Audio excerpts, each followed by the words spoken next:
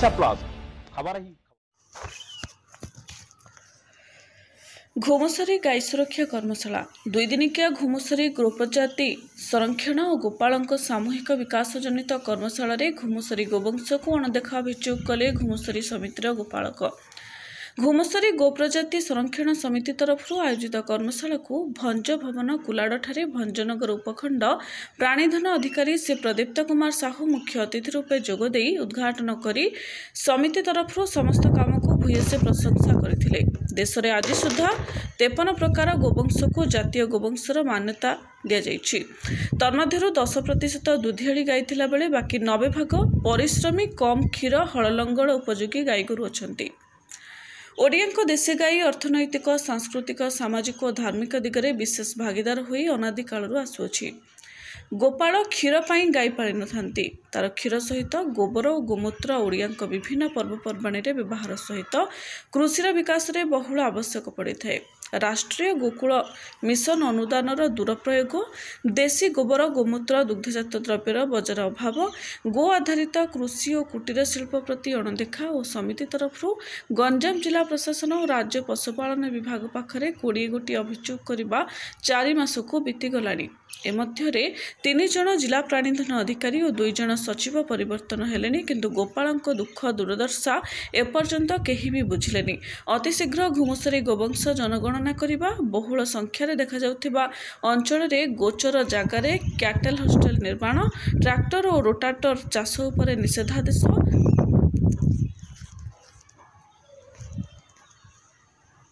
ବର୍ଷା ଦିନ ପୂର୍ବରୁ ସମସ୍ତ ଘୁମୁସରୀ ଗୋପାଳଙ୍କୁ ଗୁହାଳ ଓ ବୀମାକରଣ ଜଙ୍ଗଲରେ ଚରାବୁଲା ପାଇଁ ଗ୍ରାଜିଂ ପାସ୍ ଘୁମୁସର ଅଞ୍ଚଳରେ ଖାଲି ଥିବା ପଶୁ ଡାକ୍ତରଙ୍କ ନିଯୁକ୍ତି କରିବା ପ୍ରମୁଖ ଦାବି ରହିଛି ସର୍ବସମ୍ମତିକ୍ରମେ ନିର୍ଦ୍ଧାରଣ କରିଥିବା କଥା ସମିତି ମୁଖ୍ୟ ପ୍ରକାଶ ଚନ୍ଦ୍ର ସାହୁ ଗଣମାଧ୍ୟମକୁ ପ୍ରେସ୍ ଇସ୍ତାହାରରେ ଜଣାଇଛନ୍ତି।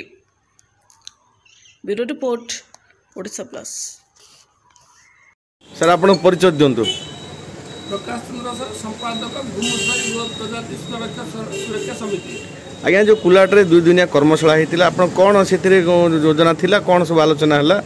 ଦେଖନ୍ତୁ ଆଜ୍ଞା ବର୍ତ୍ତମାନ ଭାରତ ସରକାର ଦୁଇ ହଜାର ଦଶ ମସିହାରେ ଆମର ଉତ୍କଳ ରାଜ୍ୟରେ ଚାରି ପ୍ରକାର ପ୍ରଜାତିକୁ ଜାତୀୟ ମାନ୍ୟତା ଦେଇଛନ୍ତି। ମାତ୍ର ଦୁଃଖର ବିଷୟ ହେଲା ତା ପାଇଁ ରାଷ୍ଟ୍ରୀୟ ଗୋକୁଳ ମିଶନ ହେଲା କାମଧେନୁ ଆୟୋଗ ହେଲା ତାଙ୍କ ଯଦି ଅର୍ଥ ବରାଦ ହେଲା ମାତ୍ର ଯାହା କଂଗ୍ରେସର କାମ କଣ୍ଟିନ୍ୟୁସ୍ ମାନେ ପ୍ରତି ବିଭିନ୍ନ ପ୍ରତି ବର୍ଷ ହେବା କଥା ଯାହାକି ରାଜ୍ୟ ସରକାର ସେଇଟା କରିପାରନ୍ତି ନାହିଁ। ଆଉ ବଡ଼ ବଡ଼ ସମସ୍ୟା ହେଲା ବିଭିନ୍ନ ଆମର ଅଞ୍ଚଳରେ ମାନେ ମାତ୍ରାଧିକ ସବୁ ଭେଟେନାରୀ ଡିପାର୍ଟମେଣ୍ଟର ପୋଷ୍ଟ ଖାଲି ଅଛି। ଆଉ ଗୋପାଳ ମାନେ ବର୍ତ୍ତମାନ ଆମର ଗାଈ ଗାଈଗୁଡ଼ିକ ଆଜ୍ଞା ବର୍ତ୍ତମାନ ଦୁଧଳିଆ ନୁହନ୍ତି। କାରଣ ଆମ ଭାରତରେ ବର୍ତ୍ତମାନ ସୁଦ୍ଧା ତେପନ ପ୍ରକାର ଗାଈକୁ ଜାତୀୟ ମାନ୍ୟତା ମିଳିଛି।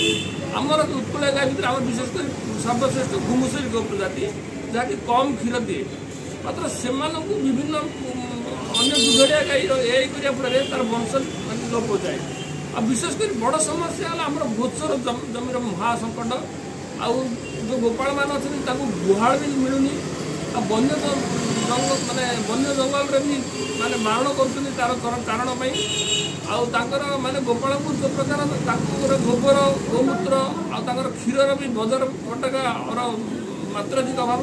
ଏ ଫଳରେ ଆମେ ଗୋଟେ ବର୍ତ୍ତମାନ କରିଥିଲୁ ଦୁଇଦିନିଆ କର୍ମଶାଳା ଯାହାକି ପାଞ୍ଚଶହ ଚାଷୀ ଗୋପାଳ ଆମର ଆଠଟା ବ୍ଲକ ଭଞ୍ଜନଗର ସବ୍ ଡିଭିଜନ ଆଠଟା ଭଞ୍ଜନଗର ଜଗନ୍ନାଥ ପ୍ରସାଦ ବେଲୁଣ୍ଡା ସୋରଡ଼ା ଆସ୍କା ଧରାଗୋଟ କୁକୁଡ଼ା ଏସବୁ ଆଠଟା ବ୍ଲକରୁ ପାଞ୍ଚଶହ ଗୋପାଳକ ଆସିଥିଲେ। ଆଉ ତାଙ୍କୁ ଆମେ ସରକାରଙ୍କର ବିଭିନ୍ନ ଯୋଜନାରେ ଆମେ ସଚେତନ କରିଛୁ।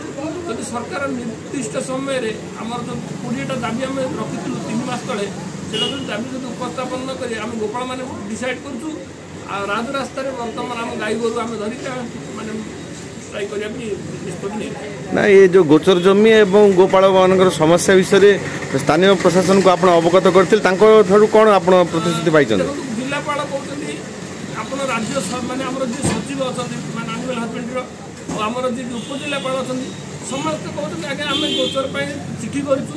ମାତ୍ର ଦୁଃଖର ବିଷୟ ହେଲା ତହସିଲଦାର ମାନେ ସ୍ଥାଣୁତା ଯୋଗୁଁ ଆଉ ରାଜସ୍ୱ ବିଭାଗର ସ୍ଥାଣୁତା ଯୋଗୁଁ ଗୋଚର ଆଉ ଗୋଚର ନାହିଁ। ଗୋଚରରେ ବିଭିନ୍ନ ଡେଭଲପମେଣ୍ଟ କାମ ହେଇସାରିଲାଣି ଯେଉଁଟାକି ଗାଈ ଗୋରୁ ମାନେ ଚରେଇବା ପାଇଁ ବର୍ତ୍ତମାନ ଆଉ ଚାରଣ ନାହିଁ। କାରଣ ଘୁମୁସରୀ ଗାଈର ମୁଖ୍ୟ କଥା ହେଲା ଯଦି ଏ ଦେଶୀ ଗାଈ। ଇଏ ଜଙ୍ଗଲରେ ଚରିବ ବା ଚାରଣ ଭୂମିରେ ଚରିବ। ଇଏ ନ ଚରିଲେ ଇଏ ବର୍ତ୍ତମାନ ବଞ୍ଚି ପାରିବ ନାହିଁ ସାର୍ ଯୋଉ ମ, ଦୁଇ ଦିନିଆ କର୍ମଶାଳା ହେଇଥିଲା ଆଉ କେଉଁ ବିଭାଗର ସବୁ ଅଫିସର ମାନେ ଆସିଥିଲେ? ବର୍ତ୍ତମାନ ଆମେ ଅ, ମାନେ ଚାରିଟା ବିଭାଗ ଡାକିଥିଲୁ ଗୋଟେ ହେଲା ଭେଟନାରୀ ଡିପାର୍ଟମେଣ୍ଟର ଏସଡିପିଓ ଆସିଥିଲେ ଆଉ ଆମର ट्रस्टल लुब्रिकेंट्स एंड ग्रीस भरोसे पर रखो विश्वास ट्रस्टल देगा आपका साथ ट्रस्टल का लुब्रिकेंट और ग्रीस वर्जिन है ये ट्रस्टल का लुब्रिकेंट का वादा हर समय ज्यादा ही ज्यादा ट्रस्टल the original lubricants and grease